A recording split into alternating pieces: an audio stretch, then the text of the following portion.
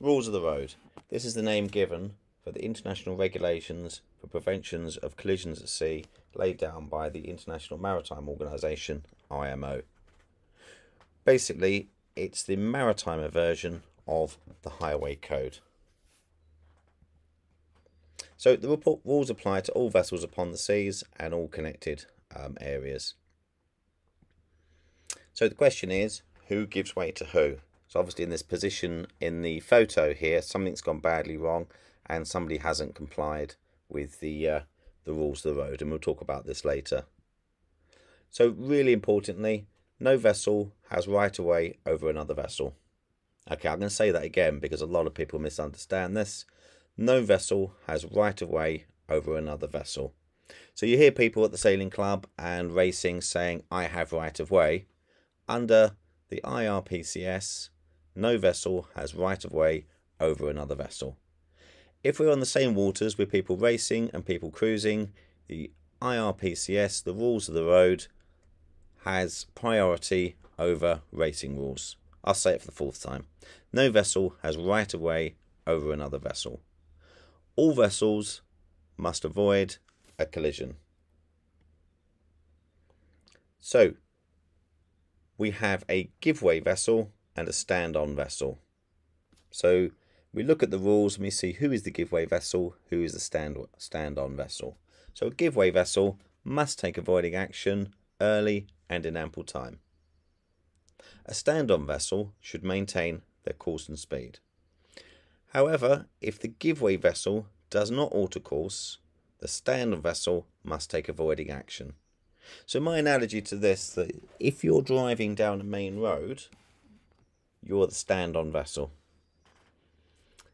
if a car pulls out of a side road, you're still the stand-on vessel.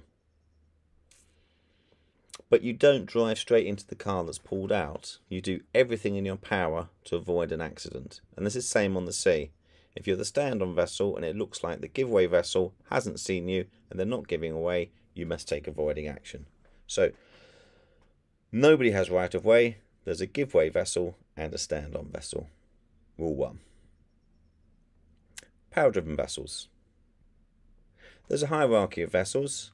So we have power-driven vessels, sailing vessels.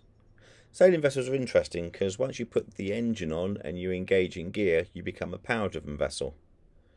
So we have power-driven vessels, and they give way to sailing vessels. They give way to fishing vessels. These are vessels that are fishing.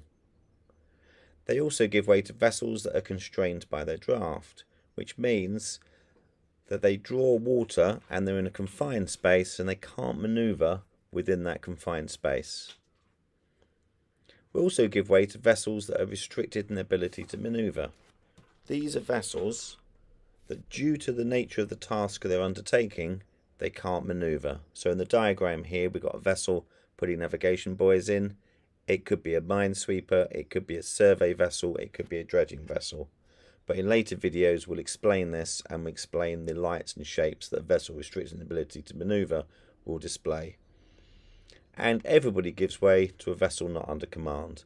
That's a vessel, due to circumstances beyond their control, they can't manoeuvre within the rules. So this is the hierarchy ladder of who gives way to who. So a power-driven vessel gives way to all of these vessels.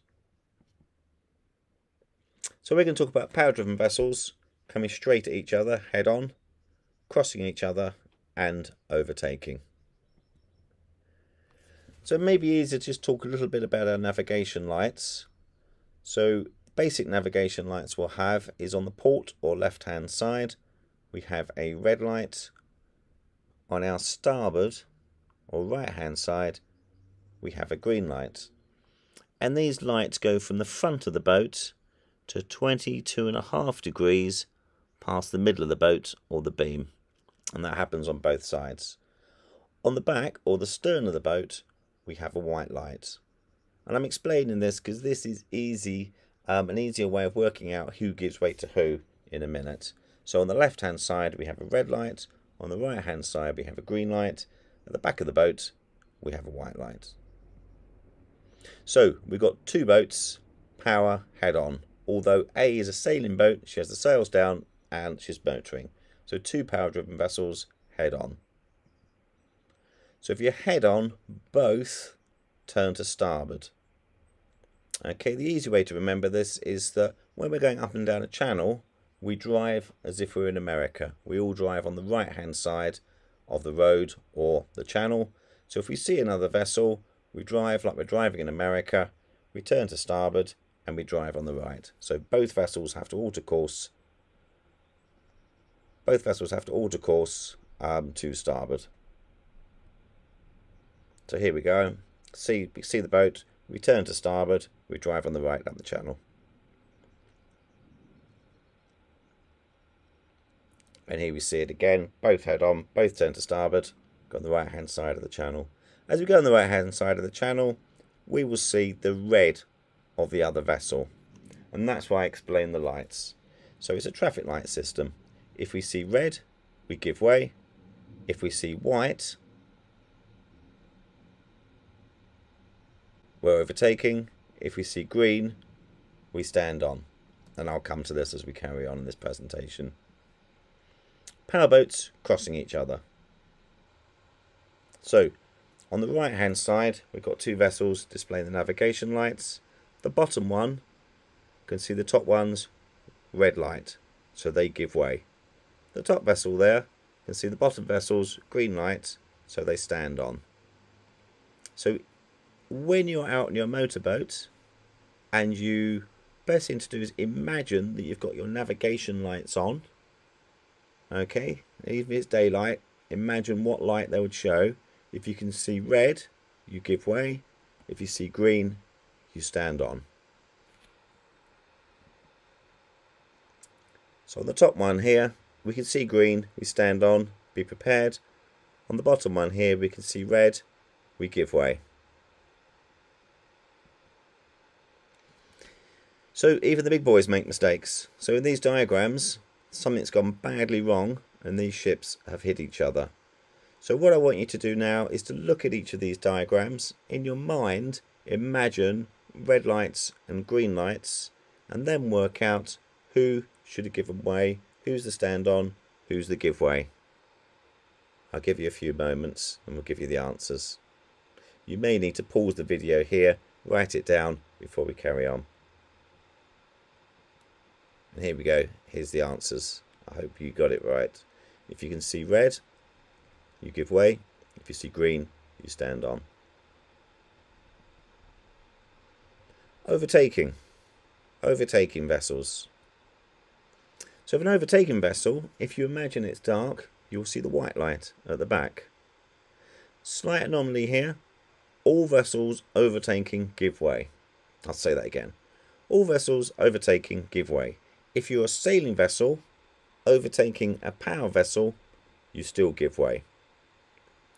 We know we're overtaking because we're in the white sector of the lights at the back of the boat and the boat we're coming to is getting closer. So here we have the giveaway vessel here at the bottom of the screen can see the white light of the stand-on vessel. So if we see the white light, we're the overtaking boat. And we, and we keep clear until we're past and clear. We can't go in front of the boat and then slow down and get in their way. We have to give way, keep clear until we're past and clear. These rules are specifically for sailing vessels. So sailing vessels give way to fishing vessels, vessels constrained by the draft, vessels constrain the ability to manoeuvre, and vessels not under command. So we're going to look at vessels on the same tack, vessels on different tacks, and vessels overtaking, so sailing vessels. So sailing vessels on the same tack. The tack is the side the wind is coming from. So all of these sailing boats here are on the port tack because the wind is coming from the left hand side.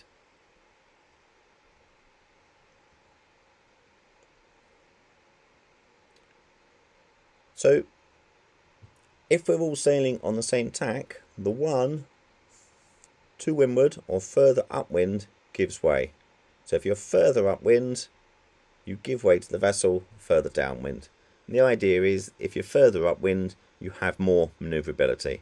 So if you remember in the days of square riggers who didn't find it difficult to sail, further upwind, they've got much better manoeuvrability than a vessel further downwind.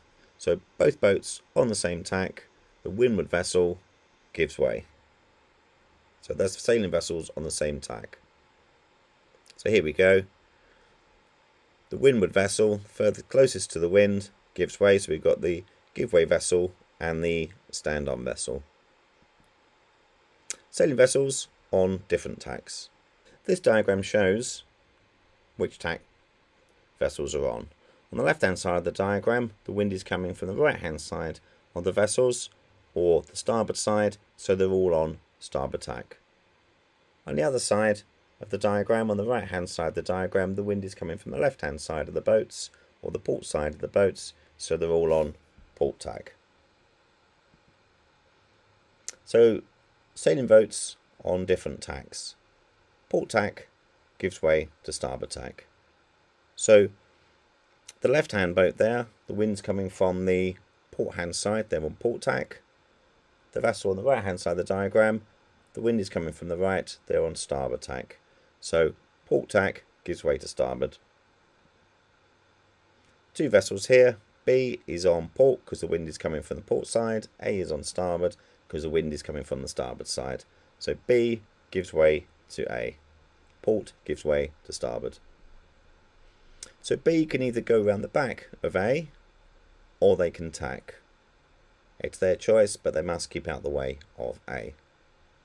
If it's a windy day and it's hard to bear away or come away from the wind around the back, it may be safer for B to turn and tack in the same direction as A, then they won't hit them. So in this diagram, the vessel is on port tack because the wind is coming from left hand side. The vessel in the distance is on starboard tack. So the vessel we're on is the giveaway vessel. The vessel we can see is the stand-on vessel.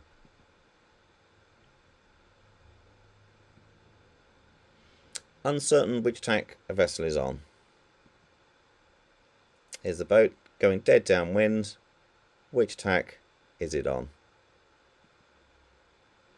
So a tack the vessel is on, is the opposite side to where the mainsail is. So the diagram on the left is on starboard tack. Because the mainsail is over to the port side, the wind's coming from the starboard side. This gets a little bit more difficult with the diagram to the right because it doesn't have a mainsail up, but this is pretty unusual. So if you're on port tack and the boat's coming down and we can't see whether on port and starboard tack because the mainsail's hidden by the spinnaker. We assume they're on starboard tack. So the left-hand vessel gives way, the right-hand vessel stand on.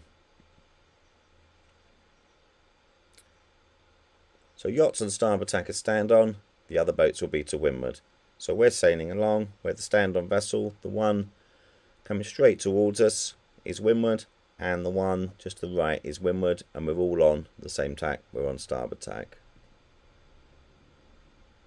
on this one here we're on starboard the other vessel we assume is on starboard but their windward boat they keep clear so we're the stand-on vessel the windward boat is the giveaway vessel but we have to make sure that they can see us they should be keeping a proper lookout but if they can't we might need to shout or be prepared to get out of the way. So here we have vessel A, vessel B. B is on port tack, A is on starboard tack, so B gives way to A. To understand what you said, we're going to ask a few questions. So we're going to paste a scenario on the screen. May have to pause to work out what you think the answer is. Carry on and we'll give you the answers. So here's the first one. Are you ready? Which boat gives way and what should they do?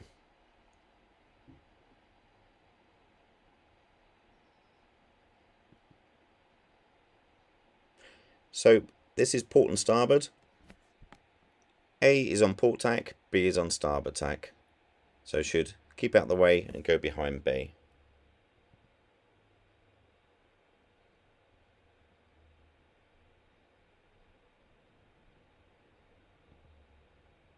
A is sailing, B is under power. Power gives way to sail, so B gives way and goes behind A.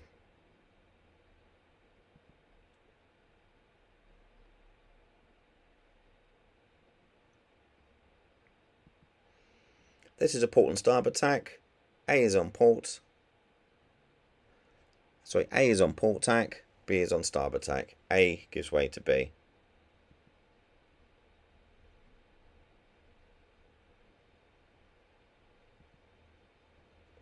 A is windward boat, so A gives way, goes behind B, either goes behind as we show in the diagram, carries on the same course or tacks away.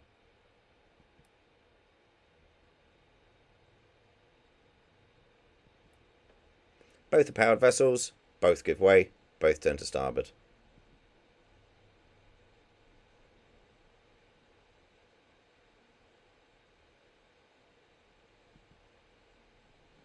So A is the stand-on vessel, B is the give-way vessel. So B goes round. So B can see A's red light. So if you can see red, you're the give-way vessel. A can see B's green light, so A is a stand-on vessel. Hope you've enjoyed this. Um, be sure to look at all the other tutorial videos we have for ENS and Day Skipper and go to our YouTube channel and please um, subscribe to our YouTube channel. This is Paul, City Sailing. Thanks very much for watching. See you later. Cheers. Bye.